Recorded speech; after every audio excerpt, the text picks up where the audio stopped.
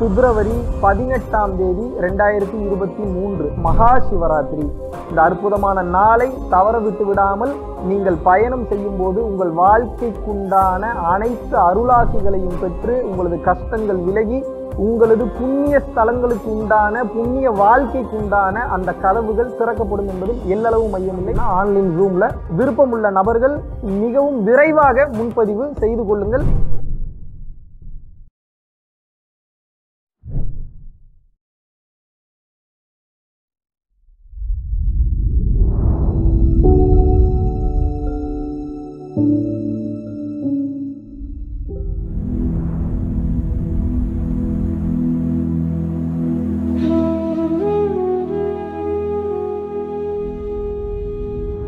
ஐயோட யூடியூப் பார்க்குறேன். அந்த தியான கிளாஸ் ஏற்கனவே பார்த்துட்ருக்குறேன். அந்த குரூப்பு இது பண்ணதை அந்த இது பார்த்துட்ருக்கேன். அதை வச்சு பண்ணிகிட்ருக்குறேன் நார்மலாக இருக்கிறத விட நல்லா சந்தோஷமாக இப்போ நல்லா இதுவாக இருக்கிறேன். ஒரு புது பிறவி எடுத்து வந்த மாதிரி எனக்கு ஒரு உங்களை நேரில் அது முன்னாடி பார்த்துருக்குறேன். இருந்தால் கூட எனக்கு உங்கள் கையில் தீட்சை வாங்கினதுக்கு பார்த்ததுக்கு ரொம்ப சந்தோஷம். குருவே சரணம். அனைவருக்கும் வணக்கம். குழந்தைங்களை எப்படிங்க நான் வந்து ஸ்பிரிச்சுவல் பாதையை நோக்கி நான் பயணப்பட வைக்கிறது? எனக்கு தெரியுது இதில் போனால் அவன் வாழ்க்கை நல்லா இருக்கணும் ஆனால் என்ன சொன்னாலும் கேட்க மாட்டேறாங்க நான் என்ன பண்ணுறது இதுக்கு என்ன வெளிப்படையான ஒரு பதில் நான் சொல்லணும் அப்படின்னா முதல்ல நீங்கள் ஒரு சரியான ஆளாக இருக்கணும். அப்படி இல்லாட்டினா உங்கள் குழந்தை முதல்ல கேட்காது. அதை த- கடந்த நிலையில் ஒன்று இருக்குது என்ன சொன்னாலும் குழந்தை கேட்காது. அது எதற்காக வந்திருக்கோ அந்த பாதையில் தான் அது போகும். இருந்தாலும் ஒரு தாயாகவும் ஒரு தகப்பனாகவும் உங்களுக்கு ஒரு தேர்ட்டி டுவெண்ட்டிலேருந்து ஒரு தேர்ட்டி பர்சன்ட் வந்து பார்த்தீங்கன்னா அந்த பொறுப்பு இருக்குது அந்த அந்த பொறுப்பை நீங்கள் பண்ணீங்கன்னா அதில் ஓரளவுக்கு மாற வாய்ப்பு இருக்குது பட் அதையும் மிஸ் பண்ணிட்டீங்கன்னா ஒன்றும் பண்ண முடியாது. ஏ முப்பது சதவீதம் வீட்டை பார்த்து ஒரு மனிதன் மாறுகிறான். எழுபது சதவீதம் இந்த நாட்டை அதாவது வெளி வெளி உலகத்தை பார்த்து அவனது வாழ்க்கையும் அவனது கேரக்டரும் குணாதிசயம் அமைகிறது. இதை நீங்கள் தெளிவாக புரிஞ்சுக்கணும். அந்த வகையில் பார்க்கும்போது அந்த உயிருக்கு அதாவது உங்கள் குழந்தைக்கு நீங்கள் நல்லது சொல்லி கொடுக்கணும்னு நினைக்கிறீங்க அப்படின்னா முதல்ல நீங்கள் ஒரு இம்ப்ரெசிவான ஒரு கேரக்டராக இருக்கணும். தேஞ்ச ரெக்கார்டு மாதிரி ஒரே மேட்டரவே திருப்பி திருப்பி திருப்பி திருப்பி பேசிகிட்டு இருந்தீங்கன்னா எனக்கே போர் அடிக்கும். அவனுக்கு எப்படி போர் அடிக்காமல் இருக்கும்? ரெண்டாம் மாடர்ன் வேர்ல்டுக்கு வந்துட்டான். ட்ரெண்டியான விஷயங்களை நிறையா பார்க்குறான். எப்படி கேட்பான்னு நினைக்கிறீங்க?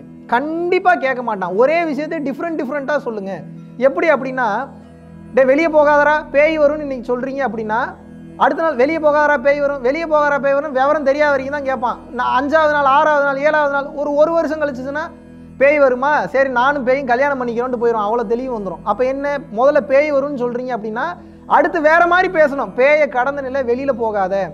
ஒரு சில விஷயங்கள் உன்னை பாதிக்கும். அடுத்தவங்களோட எண்ண அலைகள் பாதிக்கும். அப்போ அப்படி கொஞ்சம் டெக்னிக்காக பேசணும். அவனுடைய வளர்ச்சிக்கு தகுந்தாற் போல் நீங்கள் கொஞ்சம் வார்த்தைகளை மாற்றணும் அவனுடைய அறிவு நிலை வளர்ந்துக்கிட்டே போகும்போது அந்த அறிவு நிலைக்கு உங்களால் ஈடு கொடுக்க முடியலன்னு வச்சுங்க பதில் கொடுக்க முடியலன்னு நீங்கள் அவுட் ஆயிடுவீங்க அப்போ அவன் மைண்டில் என்ன இருக்கும்னா நம்ம அப்பா நம்ம கேட்ட கேள்விக்கே பதில் சொல்ல தெரியல. அவர் சொல்கிறத நம்மளை ஃபாலோ பண்ண சொல்கிறாரு அதோட நிறைய விஷயம் நான் வெளியில் கேட்குறேன்னு சொல்லிட்டு அவன் கேட்க மாட்டான். அப்போ என்ன அப்படின்னா முதல்ல உங்கள் பிள்ளைய மாற்றணும்னு நினைக்கிறீங்களா? தெளிவான பாதையை கொண்டு போகணும்னு நினைக்கிறீங்க நீங்கள் முதல்ல சரியாக இருக்கணும். நீங்கள் முதல்ல ரிசல்ட்டை காட்டணும் அந்த ஆன்மீகத்தில். இது சொல்லிலாம் வராது. அவன் கண் எதிர்க்க பார்க்கணும். இந்த இந்த உலகம் வந்து ரிசல்ட்டை கேட்குது கண் எதிர்க்க எனக்கு காட்டு ஏதாவது காட்டுன்னு கேட்குது அப்போ அந்த குழந்தை என்பது ஒரு குறிப்பிட்ட லெவலுக்கு மேலே தான் அந்த உச்சகட்ட நிலையான அந்த மெயினியான நிலையை அடையும். அது வரைக்கும் அறிவு சார்ந்தே தான் போகும். அதை கடந்து தான் ஞானத்துக்கு வரும். அப்போ என்னன்னா நீங்கள் முதல்ல இம்ப்ரெசிவான கேரக்டராக இருக்க வேண்டும். அப்படி இல்லைன்னா அந்த இடத்துல நீங்கள் சிக்கிப்பீங்க. உங்கள் குழந்தை கேட்கக்கூடிய கேள்விகளுக்கு சரியான பதிலை கொடுக்கக்கூடிய நண்பனாக இருக்க வேண்டும். நான் ஒரு அப்பா நான் தான் முதல்ல வந்தேன். நான் தான் உன்னை பெற்றேன் நான் சொல்கிறதா நீ கேட்கணும் அப்படின்னா விவரம் தெரியாத வரைக்கும் கேட்பான். அதுக்கப்புறம் வெறுத்துவான் அவங்கள. கடுப்பாயிருவான். ஏன் அப்படின்னா தெரிஞ்சிருதுல அறிவு நிலை நீங்கள் கம்மியாக இருக்கீங்கன்னு தெரிஞ்சிருது. அப்போ ரொம்ப குவாலிட்டியாக சரண்டர் ஆயிடணும் சரண்டராகி சரண்டர்னா அப்படியே போய் சாஷ்டாங்கமாக காலில் விழுகிறது இல்லை எனக்கு தெரியல இருந்தாலும் நான் கேட்டு சொல்கிறேன் இல்லாட்டினா இதுக்கு உண்டான விஷயத்த நான் நாளைக்கு சொல்கிறேன் அதுக்குள்ளே நீங்கள் லேர்ன் பண்ணிட்டு சொல்லணும். அப்போ நீங்கள் லேர்ன் பண்ணுறதுக்கு தயார் நிலையில் இல்லை. உங்கள் பையனையும் சப்பை கட்டி கட்டி நான் சமாளிப்பேன் அப்படின்னா அந்த குழந்தை உங்களோட ஒரு மடங்கு அறிவு அறிவு மிக்க ஒரு குழந்தையாகத்தான் இருக்கும். மேபி அது இன்னைக்கு வெளிப்படலனாலும் என்னைக்காவது வெளிப்படும். ஏன்னா உங்கள் ஜீன்லேருந்து வந்திருக்கு உங்கள் டிஎன்ஏலேருந்து வந்திருக்கு. அப்போ எப்படி நீங்கள் எந்த லெவலில் இருக்கீங்களோ அதோட ஒரு படி அது மேலே தான் இருக்கும். நம்ம நினைப்போம் நம்மளோட கீழே இருக்குன்னு. அது அப்படி கிடையாது. அது வேறு எதுக்காகவும் வந்திருக்கு அது உங்களுக்கு தெரியாது. டைம் வரும்போது மட்டும்தான் தெரியும் புரியும். அப்படி இல்லை அப்படின்னா அந்த குழந்தை உங்கள் தாத்தா பாட்டியோட ஜி டிஎன்ஏ உங்கள் அப்பா அம்மாவோட டிஎன்ஏலேருந்து அடுத்த தன்மையில் வந்து வந்திருக்கு. ஆக மொத்தம் உங்களுடைய இந்த ஒரு வம்சாவளியிலேருந்து தான் வந்திருக்கும். அப்போது இந்த குழந்தைகளை நீங்கள் ஆன்மீகத்தில் ஆன்மீகம்ன்றது சின்ன விஷயம் கிடையாது. கர்மா மொத்தத்தை அழிக்கக்கூடியது. இதுக்கு முதல்ல இறைவனோட பிளஸ்ஸிங் என்பது நிச்சயமாக இருக்க வேண்டும். இதுவும் ஒரு பெரிய ஒரு முக்கிய காரணமாக இருக்கிறது. அந்த குழந்தை முன்ஜென்மத்திலேயே நல்ல புண்ணியங்களை பண்ணியிருக்கு. இதுக்காக ஏங்கி இருந்ததுன்னா யாரும் கைட் பண்ணாலும் ஸ்பிரிச்சுவாலிட்டியை பிடிச்சிப்பான். எக்ஸாம்பிளுக்கு என்ன மாதிரி? எக்ஸாம்பிளுக்கு என்ன மாதிரினா என்ன எனக்கு கடவுளை பிடிக்காது எல்லாம் நெகட்டிவிட்டி எல்லாம் எதுவுமே சரியில்லை. எல்லாருமே தப்பாக தான் பேசுகிறாங்க நான் தான் சரியாக பேசுகிறேன் அப்படின்ற திமிருத்தனத்தில் இருந்த என்னையே முன்ஜென்ம விட்ட குறை தொட்ட குறை ஒரு கட்டத்துக்கு மேலே உண்மையான பாதையை நோக்கி பயணம் பண்ண ஆரம்பித்து உண்மையை பார்க்க வச்சிருச்சு. ஆனால் எல்லாருக்கும் இப்படி அமையுமா என்பது தெரியாது. அப்போ அந்த குழந்தைய ஆரம்பத்துல இருந்தே வந்து பார்த்தீங்க அப்படின்னா சும்மா மந்திரத்தை மனப்பாடம் பண்ணு மந்திரத்தை சொல்லு. நீ வந்து பக்தியில் இரு. சும்மா வந்து தேங்காவோட சாமி போய் கும்பிடு கும்பிடுன்னு பக்தியையும் மந்திரத்தை மட்டும் போதிக்காமல் உங்கள் குழந்தைக்கு நீங்கள் எதை போதிக்க வேண்டும் என்றால் நல்லா புரிஞ்சுக்கங்க. இந்த தன்மையை நீங்கள் ஒரு குழந்தைக்கு சொல்லி கொடுத்தீங்கன்னா அது ஆன்மீகத்துக்கு ஆட்டோமேட்டிக்காக வந்துடும் ஆ, மொத்த ஆன்மீகம் ஒன்றை தான் சொல்லுது. என்ன? அன்பே கடவுள். எல்லா மதமும் இதைத்தான் சொல்லுது. ஸோ உங்கள் குழந்தைக்கு நீங்கள் மந்திரம் சொல்லித் தர வேணாம் பக்தியை சொல்லித்தர வேணாம் ஐயோ கேட்க மாட்டானேன்றது சொல்லித் தர வேணாம். எவ்வளோ நெகட்டிவான குழந்தையா அது இருக்க போகுதுனாலும் நீங்கள் அன்பை சின்ன வயசுலேருந்தே போதிச்சுட்டு வந்தீங்கன்னு வச்சுக்கோங்க. அந்த குழந்தை எவ்வளோ பெரிய நெகட்டிவான கர்மாவிலிருந்து தப்பிச்சிடும் நீங்கள் அன்பை போதிக்காமல் உங்கள் குழந்தைக்கு நீங்கள் வேற எதை போதிச்சிங்கனாலும் அது ஏமாத்திரும் ஏமாந்துடும் அப்போ அன்பை போதிக்கணும்னா எப்படி இருக்கணும்? முதல்ல நீங்கள் அன்பின் சொரூபமாக இருக்கணும். நீங்கள் அன்பாக இல்லாமல் நீங்கள் மட்டும் அன்பை போதிச்சிங்கன்னா எப்படி உங்கள் பிள்ளை கற்றுப்பான் அப்போ யாரை பிடிக்குதோ அங்கே போய் அவங்க என்ன சொல்லித்தராங்களோ அதை தான் கற்றுப்பான் அப்போ உங்கள் குழந்தை உங்கள் கண்ட்ரோலில் இல்லாமத்தான் போகும். இதுவே நீங்கள் தெளிவாக தாய் தகப்பனாக இருக்கும் பட்சத்தில் அன்பை மட்டும் நீங்கள் சொல்லிக் கொடுங்க. உனக்கு இல்லைனா கூட பரவாயில்ல. இன்னொரு உயிருக்கு உண்மையாகவே தேவைப்படுதா? நீ எடுத்து குர்றா அந்த உயிர் நல்லா இருக்கட்டும் நீ நினை. அந்த தன்மைக்கு இறைவன் உனக்கு வேணுங்கிற அத்தனையும் கொடுப்பாரு. லேட்டாக நிச்சயமாக கிடைக்கும். இன்னொருவருக்கு கொடுத்து அழகு பார்க்கறதுல சுகம் காணு நீ. ஒருத்தங்கிட்ட இருக்கிறத புடுங்கிறதுல நீ சுகம் காணாத. இன்னொருத்தவங்களை தட்டி கொடுத்து பழகு. இன்னொருத்தவங்களுக்கு ஹெல்ப் பண்ணு. அதனால நிச்சயமாக நீ தாழ்ந்தே போவே மாட்ட. ஏன்? ஓடியிட்ட பிச்சையும் உகந்து செய்த தர்மமும். சாடி விட்ட குதிரை போல் தர்மம் வந்து காக்குமே. இந்த மாதிரி நிறைய அந்த இந்த மாதிரியான பாடல்களை இம்ப்ரெஸ் பண்ணுங்க. எதை சொன்னால் அவன் உயர்ந்த கட்ட நிலைக்கு வருவானோ அந்த மாதிரியான பாடல்களை நீங்கள் முதல்ல மனப்பாடம் பண்ணி வச்சிருக்கணும். உங்களுக்கே தெரிலனா எப்படி நீங்க உங்கள் குழந்தைக்கு சொல்லுவீங்க? நீங்க அது அன்பின் கருணையின் வடிவமாக இருக்கும்போது உங்கள் குழந்தை அதை கற்றுக்கொள்ளும் எளிதாக கற்றுக்கொள்ளும். நீங்கள் தான் ரோல் மாடலாக இருப்பீங்க. நீங்களே சரியில்லைன்னா உங்களை பார்த்து தப்பாகத்தான் அந்த குழந்தை போகும். ஸோ குழந்தை நல்ல பாதையில் போக வேண்டும் என்றால் அன்பை கற்றுக்கொடுங்கள் கருணையை கற்றுக்கொடுங்கள் கருணையாக இருக்க அந்த குழந்தை கற்றுக்கொள்ளட்டும். அந்த தன்மையிலிருந்து வளர்ந்து வர வர வர வர வர வர வர ஒரு கட்டத்துக்கு மேலே அன்பை இறுக்கமாக பிடிச்சிக்கும். வேறு எதுவுமே பிடிக்காது. அந்த டேஸ்ட். அது ஒரு ஒரு ஒரு அலாதியான இன்பம் ஒரு பெரும் போதை. உங்கள் குழந்தைக்கு முதல்ல இன்னொருத்தவங்களுக்கு கொடுக்க சொல்லித்தாங்க. நீங்களே கொடுக்கறதுக்கு பயந்துட்டு இருக்கிறப்ப எப்படி உங்கள் வாயிலேருந்து அந்த வார்த்தை வரும்? இன்னொரு இன்னொருத்தவங்களுக்கு கொடு தைரியமாக கொடுன்னு எப்படி சொல்லுவீங்க?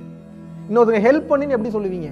இன்னொருத்தங்க வாய்ப்பை தட்டி பறித்து நமக்கு வேலை கிடச்சா போகும் தான் நினைக்கிறீங்களே தவிர இன்னொருத்தவங்க கொடுத்த அழகு பார்க்கணும். ஒரு உட்காந்துருக்கிற சீட்டை கொடுக்க மாட்டீங்க. சாப்பிட்டுட்டு இருக்க சாப்பாட்டில் கொஞ்சம் கொடுக்க மாட்டீங்க. வச்சிருக்கிற பொருளை அடுத்தவனுக்கு கொடுக்க மாட்டீங்க. இதெல்லாம் பார்க்கும்போது உங்கள் குழந்தை என்ன பண்ணும்? படத்தில் சொன்னமா கெட்ட வார்த்தையை உங்கள் குழந்தைகள் பேச பேசுவதில்லை. கேட்ட வார்த்தைகளை தான் பேசுகிறார்கள். வார்த்தையும் மட்டும் இல்லை பார்க்குறது அதே மாதிரி தான் ஒன்றை செய்கிறான் அப்படின்னா நீங்கள் செஞ்சுருப்பீங்க அதை பார்த்து தான் செய்கிறான் மறுபடியும் வேற ஏதாவது செய்கிறான்னு வெளியில் ஏதாவது பண்ணியிருப்பாங்க அதை பார்த்து தான் செய்கிறான் ஆனால் இதில் எந்த ஒரு விஷயம் கருணையை ஒருத்தன் வந்து காப்பி அடிக்கும்போது சுகமாக இருக்கானா?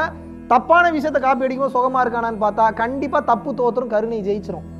ஆனால் அந்த கருணையை அந்த டேஸ்ட் அந்த எசன்ஸை நீங்கள் காட்டியே ஆகணும். அப்போ தான் அந்த குழந்தை நல்ல தன்மையில் வளரும். உங்கள் குழந்தைக்கு நீங்கள் ஒரே ஒரு விஷயத்த சொல்லிக் கொடுங்க. இது எல்லாத்தையும் கொண்டு வந்துடும் அட்டமா சித்தி அனிமா லகிமா மகிமா கரிமா பிராப்தி பிரகாமியம் வசித்துவம் மீசத்துவம் அட்டமா சித்திகளை கடந்த ஆற்றல்கள் உலகத்தை கண்ட்ரோல் பண்ணக்கூடிய அந்த ஆற்றல் பஞ்சபூதங்களை கண்ட்ரோல் பண்ணக்கூடிய ஆற்றல் அத்தனையும் இந்த கருணை கொண்டு வந்து விடும். அதனால உங்கள் குழந்தைய ஆன்மீக பாதை கொண்டு வரணும். ஏதோ மந்திரம் மாயம் முருகனை கும்புறது சிவனை கும்புறதுன்னு சொல்லி கொடுக்குறீங்க. அப்படிலாம் கிடையாது. மொத்த உலகத்துக்கும் இறைவன் ஒருவன் தான். அவன் அருட்பெரும் ஜோதியாக இருக்கிறான். லைட்டாக இருக்கிறான். லைட் பார்ட்டிகளாக இருக்கான். லைட்டான லைட்டாக இருக்கான்னு நினச்சிக்க போகிறீங்க நெருப்பாக இருக்கிறான். ஜோதி வடிவத்தில் இருக்கிறான். ஜோதியை கும்பிட வேண்டும். ஜோதியை கும்பிட சொல்லுங்கள் பேதமையே வராது. கிறிஸ்டின் முஸ்லீம் அதுபோக வந்து பார்த்தீங்க வேற என்ன- வேற என்ன புத்திசம் டாவோயிசம் வேற என்னெல்லாம் மதங்கள் இருக்கு எந்த மதங்கள் வேணாலும் எடுத்துங்க. எல்லாமே ஒன்று ஒன்று திரண்டு அன்புன்னு வந்து ஒளியை கும்பிட ஆரம்பிச்சிட்டோம்னா புத்தரை மறந்துடுவோம் நம்ம நமக்கு முன்னாடி இருக்கக்கூடிய ஐகான்ஸை மறந்துடும் இவங்கெல்லாம் நம்ம நினைவு கூறலாம் மதிக்கலாம். ஆனால் அத்தனை நிலை அடைந்த உயர்ந்த கட்ட மகான்கள் சொன்னது இறைவன் ஒருவனே. ஒளியாகத்தான் இருக்கிறார். உண்மையை உணர்ந்தவர்களுக்கு இதுக்கு நன்றாக தெரியும். அப்போ ஒளியை தான் கும்பிடணும். அப்பதான் உலகம் வந்து அந்த லவ் அண்ட் கருணைக்குள்ளே வரும். அதை கடந்த நிலையில் அன்பை சொல்லி கொடுக்க வேண்டும். அன்பை சொல்லி கொடுத்துட்டீங்கன்னா உள்ளுக்குள்ளே இருக்கக்கூடிய சக்கராஸ் ஆட்டோமேட்டிக்காக ஆக்டிவேட் ஆகிடும் உள்ளுக்குள்ளே இருக்கக்கூடிய தேவையில்லாத கர்ம பதிவுகள் அழிஞ்சிரும். பிறவி இல்லாத பெருவாழ்விற்கும் சென்று விடுவார்கள். ஸோ குழந்தைகளை நீங்கள் நல்ல பாதையில் வழி நடத்த வேண்டுமென்றால் அதற்கு அடிப்படையானது கருணை கருணை கருணை. இதை நீங்கள் முதல்ல உங்கள் குழந்தைக்கு சொல்லிக் கொடுக்கணும். சொல்லிக் கொடுக்கணும்னா முதல்ல நீங்கள் மாறணும். நீங்கள் வாயில் மட்டும் சொல்லிட்டு நீங்கள் வந்து தப்பு தப்பான விஷயங்களை பண்ணிட்டு இருந்தீங்கன்னா குழந்தை கண்டுபிடித்து விடும். உங்கள் மேலே இருக்கிற மரியாதையே போயிடும் மைண்டில் வச்சுக்கோங்க. நன்றி. வணக்கம்.